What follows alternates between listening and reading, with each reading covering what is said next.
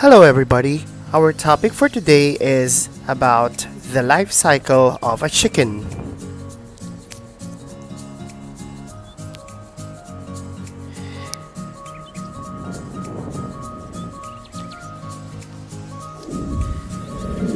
The life cycle of a chicken has four stages.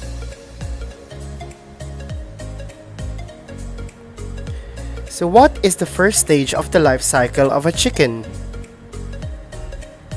Answer Egg.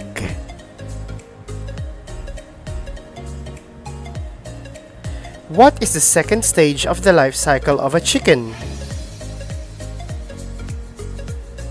Answer Hatchling. What is the third stage of the life cycle of a chicken? And the answer is Very good. What is the fourth stage of the life cycle of a chicken? And the answer is adult chicken. And that is our topic for today, the life cycle of a chicken.